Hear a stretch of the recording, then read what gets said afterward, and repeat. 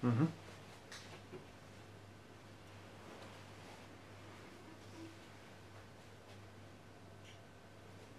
ah, godak officer. Jag tror Sverige måste vara katolska igen. Huh?